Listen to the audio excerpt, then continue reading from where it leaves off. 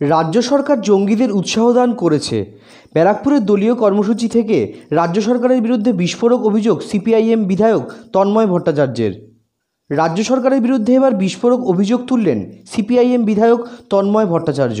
ব্যারাকপুরের এক দলীয় কর্মসূচিতে যোগদান করতে এসে সংবাদ মাধ্যমের সঙ্গে কথা বলতে গিয়ে তিনি রাজ্যে জঙ্গি ধরা পড়ার ঘটনা নিয়ে রাজ্য সরকারের ব্যর্থতা প্রসঙ্গে বলতে গিয়ে সিপিআইএম বিধায়ক তন্ময় ভট্টাচার্য অভিযোগ করলেন, রাজ্য সরকার জঙ্গিদের উৎসাহ দান করছে।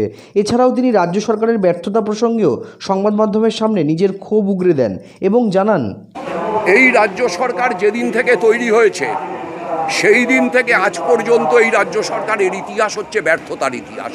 অপদার্থতার ইতিহাস, অদক্ষতার ইতিহাস, অযোগ্যতার ইতিহাস।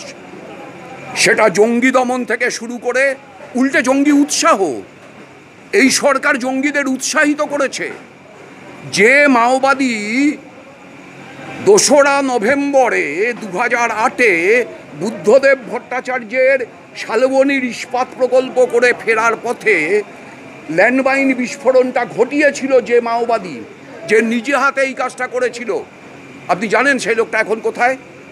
সেই লোকটা এখন মেদিনীপুর পুলিশের হোমগার্ডের চাকরি পেয়েছে। এবং আপনি জেনে রাখুন, একজন হোমগার্ডকে পাহারা দেওয়ার জন্য তিনজন আর্মড পুলিশ নিযুক্ত আছে।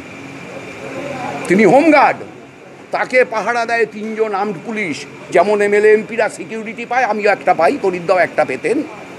কিন্তু সেই হোমগার্ড তিনটে আর্মড সিকিউরিটি পায়। সে যখন ডিউটি সেরে বাড়িতে ফেরে, তখন তিনটে আর্মড পুলিশ তাকে বাড়িতে পৌঁছে দেয়। এইটা হচ্ছে এই সরকার। এই সরকার যাবতীয় সমস্ত ক্ষেত্রে তার সমস্ত রকমের অদক্ষতাকে প্রমাণ